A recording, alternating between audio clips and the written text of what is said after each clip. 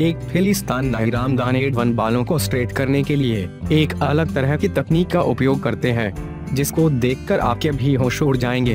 आग ऐसी खतरनाक चीज़ जिससे सबको डर लगता है।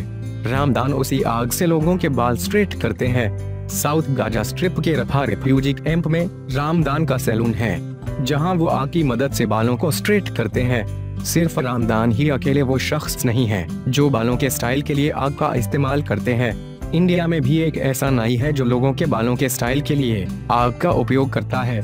ज्वलनशील पाउडर और लिक्विड बालों में डालने के बाद वे बालों को आग की मदद से सेट करते हैं। बालों को काटने के बाद वो बालों पर आग से तब तक खेलते हैं, जब तक उनके ग्राहक संतुष्ट नहीं हो जाते। उनका बालों को काटने और सेट करने का तरीका अपने आप में ही अनोखा है, जो हमेशा भीड़ को अपनी तरफ़ आकर्षित करता है।